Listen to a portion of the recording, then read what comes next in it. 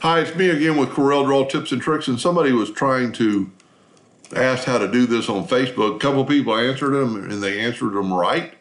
But there's a little bit of a trick to writing on this spiral, and I just thought I'd just share it with you. I'm going to hold down the control, but I've got my my loops or my revolutions on six, get them pretty tight.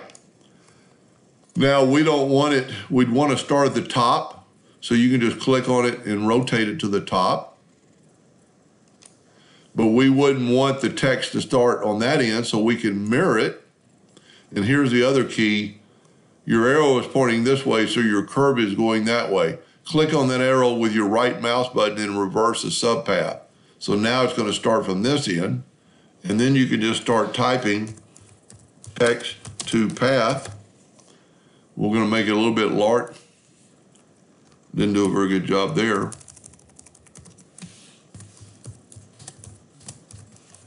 Text to path, go up to text, and bit text to path, and put it right there on that line. And what's neat about this, you can grab the text tool and just keep typing.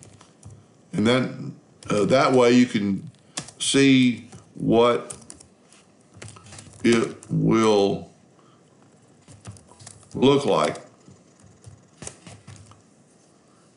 And then you can just keep going around the circle. Uh, it's a little bit slower than typing just because it's fitting it to the path. But that way you kind of see what your spiral is going to look like. Then when you're done, all you have to do is select it all, go up to object and break text apart, and then click on your spiral and hit delete. And then you have it. And you could keep going as long as you want it. Anyway, I hope that answered that question and thank you for watching.